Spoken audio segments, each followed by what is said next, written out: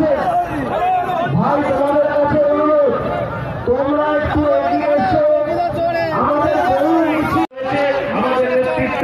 থেকে আপনাদের স্বাগত।